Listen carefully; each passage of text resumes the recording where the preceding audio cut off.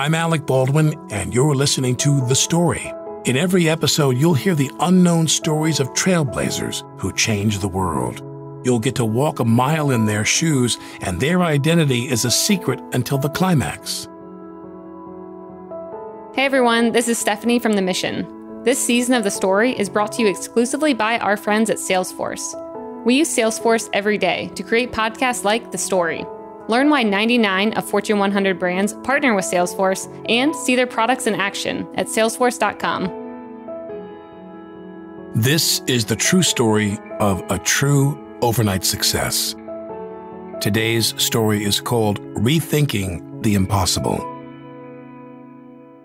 And now, on to the story. Professor Hall stood in front of the young man's desk with a thin lipped frown. He removed his glasses and stared. The economics professor shook his head and put his glasses back on before dropping the paper in the young man's lap. The young man shoved the paper in his bag and shuffled out of the classroom. Another gentleman's C to add to his list of lackluster assignments. He was a student at Yale, but he felt out of place. His fraternity brothers would probably go on to be presidents and congressmen. He, on the other hand, could barely get a C on his assignments. He laughed to himself and shook his head. Above, he watched an airplane fly by and smiled. He had bigger plans. And Professor Hall had just read the blueprint without even knowing it. As a young boy, he was fascinated by planes. All he wanted to do was spend his time in the clouds. His father had amassed a small fortune by selling his motor coach company to the Greyhound Corporation, but tragically passed away when the boy was only four years old, leaving him everything. The boy was born with a bone socket hip disorder, so he was forced to avoid sports and wear braces during his childhood. When he finally regained his health, he was running, jumping, and as soon as he could, flying. He got his amateur pilot's license at the age of 15, flying crop dusters around his hometown of Marks, Mississippi. When the boy graduated from Yale, he joined the Marines in the midst of the Vietnam War. He went from flying small planes in fields to traveling in massive helicopters. He was a platoon leader during his first deployment and led a diverse group of young men. His Marines were steelworkers, truck drivers, and cashiers. He learned to lead by example. One fateful afternoon, his platoon was ambushed with heavy artillery fire. Without hesitation, he sprinted into the chaos and helped carry his injured Marines out of harm's way. Barking out orders, they repelled the attack and survived. For his actions, he earned the Silver Star, the Armed Forces' third highest personal decoration for valor in combat. He served two tours of combat and was awarded two Purple Hearts for injuries sustained during battle.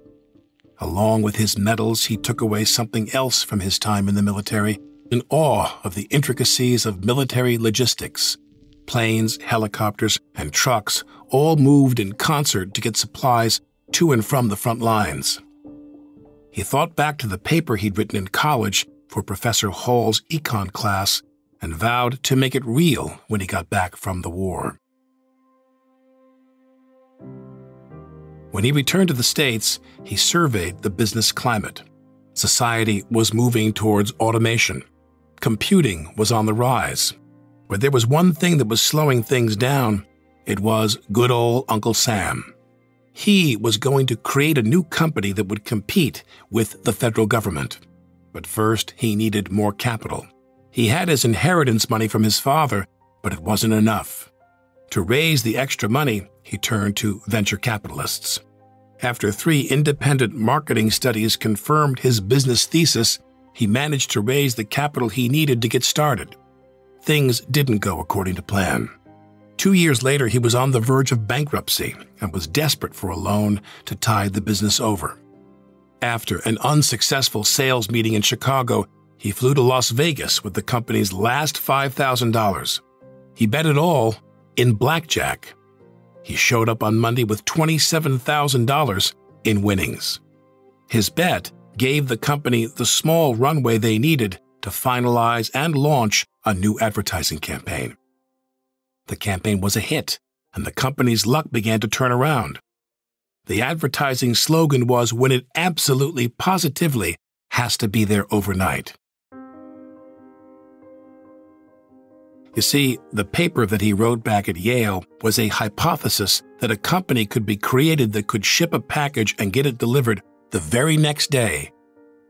In today's world of Amazon Prime and drone delivery, this is far from radical. But back then, his integrated air and ground system had never been done before. He wrote the original blueprint for the hub and spoke model in Professor Hall's econ class. He theorized that packages could be shipped via air to central hubs, and ground support would take them the rest of the way to their destination. It was one of the most complex businesses in history. Hoping he could win a contract to transport checks for the Federal Reserve System, the man decided to call the company Federal Express. The name didn't help them enough to win the contract, and ultimately they shortened the name to FedEx.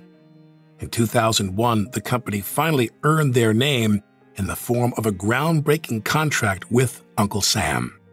FedEx would transport large mail shipments for the United States, and in return, FedEx drop boxes would be added to U.S. post offices.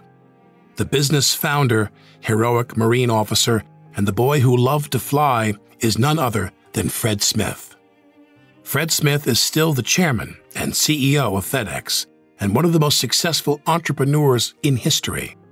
Today, FedEx employs more than 45,000 employees globally with over $65 billion in annual revenue. Most importantly, Fred Smith inspired a generation of entrepreneurs to rethink the impossible. That's his story. What's yours going to be?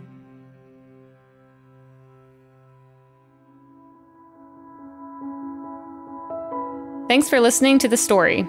If you love this story and want more, tap subscribe to make sure you never miss an episode. Thank you again to our presenting sponsor, Salesforce.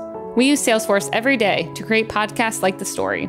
Learn why 99 of Fortune 100 brands partner with Salesforce and see their products in action at salesforce.com. The story is created by Mission, a veteran owned media company and podcast network. To get more stories like this one, you can subscribe to our daily newsletter at mission.org. Mission creates custom podcasts and original content in partnerships with world class companies like Salesforce. To learn more about how you can sponsor an original podcast, head over to mission.org/studios.